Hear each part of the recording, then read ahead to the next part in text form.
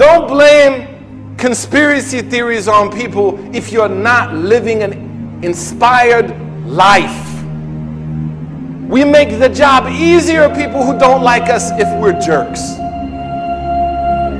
But when you are able to become iconic in your inspiration, as the prophet was, because you live for the hereafter, not for this life, then people will respect you. Your enemies will respect you.